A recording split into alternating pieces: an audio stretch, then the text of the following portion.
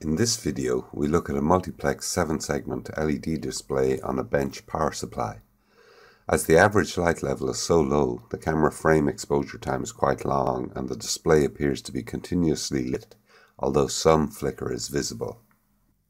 With incident lighting, we can see the slight flicker on the display and this is caused by the reduced exposure time of the camera due to the increased light levels.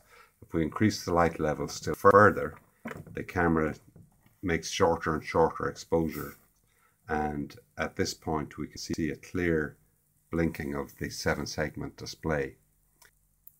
Given that the camera is running at 30 frames per second and the display appears to be blinking at about 4 frames per second, we can deduce that the display is being multiplexed at 30 minus 4 or 30 plus 4 times a second. That's 26 or 34 times a second.